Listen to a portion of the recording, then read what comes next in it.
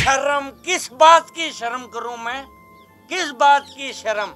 उस बीमारी को घर में अब रखे भी कौन? दवाइयों का खर्चा उसका अलग। तू तो चुपचाप तमाशा देख।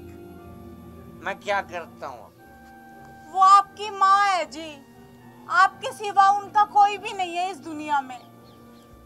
मैंने बार बार बोला ना कि तू सिर्फ़ तमाशा देख। मैं क्या क्या कमाल करता हूँ, रुक।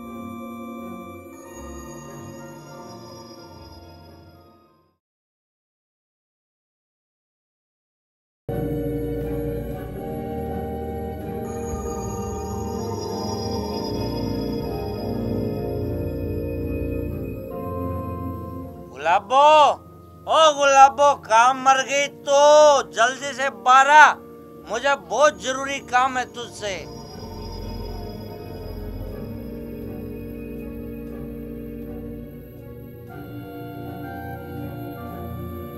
हाँ जी बोलिए क्या ज़रूरी काम है आपको? गुलाबो तू ऐसे कर मुझे दो हज़ार रुपए ला के दे फटाफट। मुझे ठेके वाले को दे के आने। दो हज़ार रुपए? हाँ दो हज़ार रुपए दो हज़ार। मैंने दो लाख नहीं मांगे तुझसे। जल्दी से लाके दे जा फटाफट। मगर जी। मुझे अगर मगर नहीं चाहिए मुझे पैसे चाहिए पैसे वो भी दो हज़ार रुपए। फटाफट लाके दे जा। मेरे पास पैसे नहीं है जी। घर में जो पैसे थे वो तो आप पहले इस दारू के नशे में उड़ा चुके हैं। और आप ऊपर से कोई काम धंधा भी नहीं करते। तो घर में पैसे कहाँ से आएँगे जी? और अब तो भूखे मरने की नौबत आ गई है। मेरे साथ बहुत ज़ुबान लड़ाती है तो इडियट मुझे कुछ नहीं पता। फटाफट रुपए ला के दे। जा मेरे पास पैसे नहीं है जी। सासू माँ की भी जो पेंशन आती है उसे भी आप इस दारू के नशे में उड़ा देते हैं। अरे गुलाबो याद आया। आज तो दस तारीख है ना? माँ वाली बुढ़ापा पेंशन आ गई होगी। ला माँ वाले पैसे लाकर दे तू मुझे। देखो जी वो पैसे आप मत लो।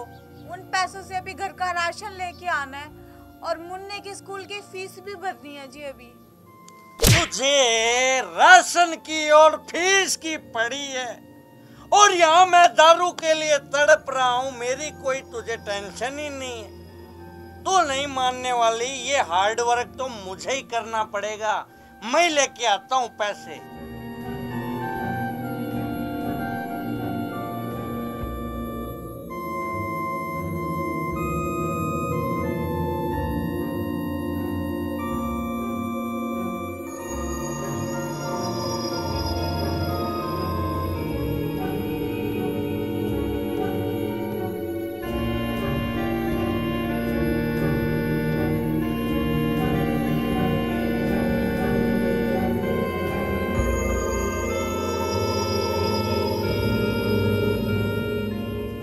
पैर पकड़ती हूँ जी, आपके हाथ जोड़ती हूँ।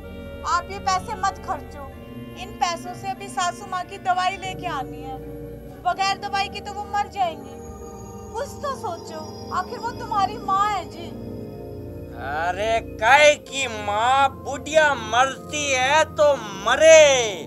मुझे उस बात से क्या? मैंने तो कुछ दिन पहले तुझे कहा भी था कि इस बुढ़िया को घर से निकाल देते हैं।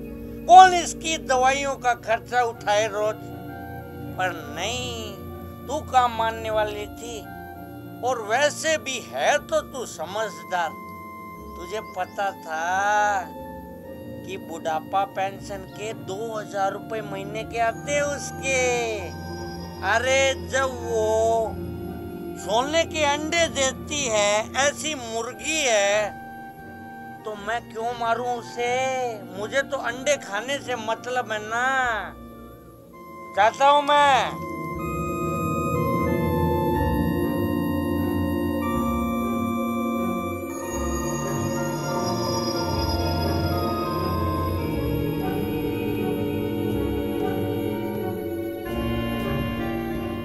अरे, क्या हुआ मेरी पान की दुग्गी तू उदास कैसे बैठी है?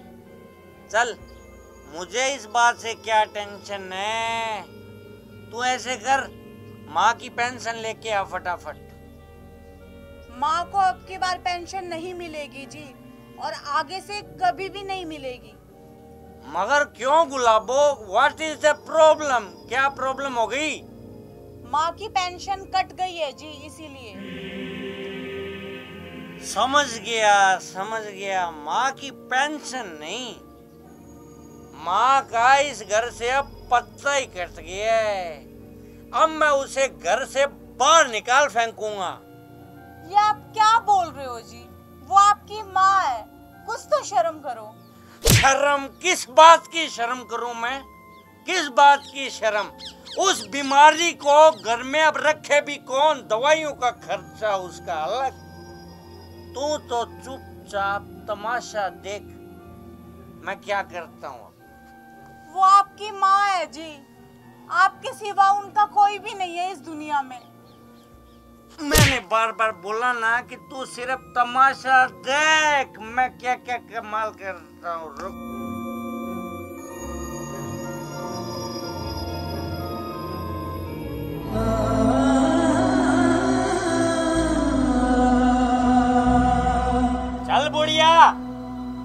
तेरा इस घर से दाना पानी खत्म हो चुका है। तो भीख मांग घर से बाहर जाके। गुलाबो मैं इस बुढ़िया को घर से बाहर फेंक के आता हूँ। तू इतनी देर में मेरे लिए खाना बना, मुझे बहुत ज़ोर की भूख लगी है, समझी? ये आप क्या कर रहे हैं जी? ये आपकी माँ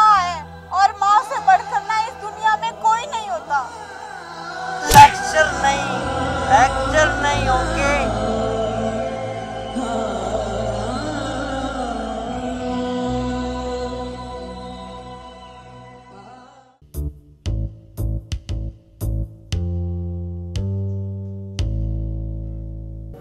अरे गुलाबो, निकाल आया मैं घर से बाहर बुढ़िया को, मगर तू कहाँ चली? तुम्हारे इस लाडले बेटे को घर से बाहर छोड़ने जा रही हूँ मैं समझे? मगर क्यों गुलाबो? तुम्हारे इस लाडले बेटे को घर से बाहर निकाल रही हूँ मैं समझे? इसकी पढ़ाई का खर्चा इसके कपड़ों का खर्चा इसके खाने का खर्चा कौन करेगा इतना खर्चा?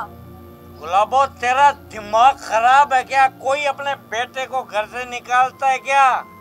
रुक मैं करता हूँ तुझे ठीक। तू जैसे इंसान को ना चुल्लू पर पानी में डूब मरना चाहिए। अरे लानत है तुझ पे। तुझे तो नर्क में भी जगह नहीं मिलेगी। तू उस माँ को, उस देवी रूप माँ को तू घर से बाहर निकाल आया, जिसने तुझे नौ महीने अपनी कोख में रखा, जो खुद गीले में सोई, पर तुझ जैसे इंसान को सूखे में सुलाया। क्या बकवास कर रही है, रुक।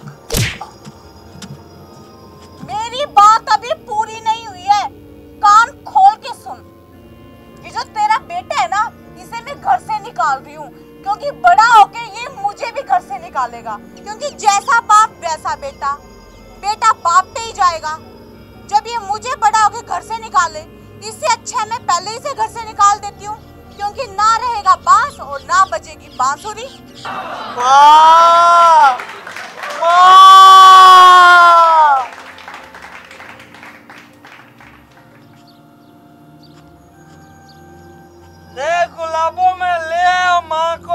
माफ़ कर दे मैं नीचू पापी हूँ। ममता के मंदिर की है तू सबसे प्यारी मूरत। भगवान नज़र आता है जब देखे तेरी सूरत। जब जब दुनिया में आए तेरा ही आ चल पाए। अगर आपको हमारा वीडियो पसंद आया हो तो लाइक कीजिए कमेंट कीजिए शेयर कीजिए। और हाँ चैनल को सब्सक्राइब करना मत भूलिएगा। हम जो भी वीडियोस बनाते हैं, अगर उसमें किसी भी कारणवश हमारी वजह से आपका दिल दुखता है या हमसे किसी भी तरह की गलती होती है तो प्लीज़ हमें अपना बच्चा समझ के माफ़ कीजिएगा। और भाइयों, मैं जो ये शराबी का किरदार आपके लिए निभा रहा हूँ, केवल मात्र मनोरंजन के लिए। शराब पीना सेहत के लिए काफ़ी हानिकारक है इससे घर उजड़ते हैं। शराब का सेवन ना करें। धन्यवाद।